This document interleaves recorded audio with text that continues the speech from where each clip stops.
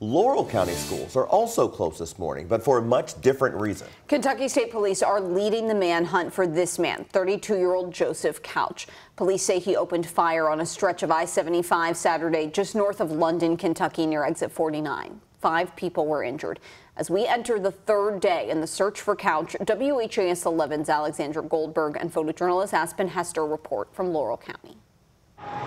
As another day closes in London, Kentucky, day two of a manhunt comes to an end. 32-year-old suspect Joseph Couch is still on the run. We was really hoping, maybe we wish that would have been last night. We was hoping today.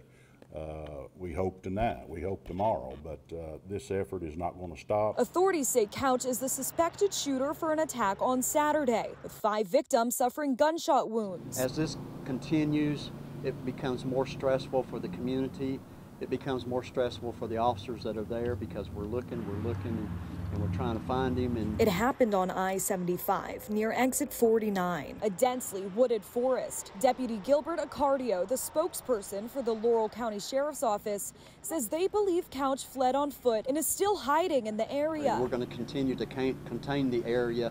We're going to continue to have people in the woods. We're uh, not actively searching, of course, but in uh, strategic positions to observe. Authorities say they found a vehicle registered in his name and an AR 15 near the site of the shooting. Deputies also found multiple charged magazines in the car. Authorities say the weapon was purchased on the same day as the shooting. Christina Denoto was in one of the cars caught in the gunfire. We were driving in, on I 75 in the middle lane, and all of a sudden we just heard this loud, deafening sound. Um, and my ear, my right ear started ringing. Authorities don't yet have a motive of the shooting. The London mayor, Randall Weddle, has a message to the community. Stay home, let the first responders do their jobs.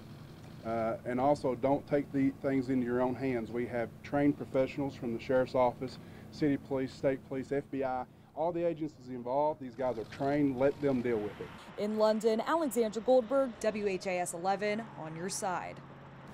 Authorities are urging you to stay away from that area because they believe the suspect is armed and dangerous. Now, they're also asking for anyone with tips to call Laurel County at 606 878 7000. And of course, to stay up to date on the latest in this investigation, just head to our website, WHAS11.com.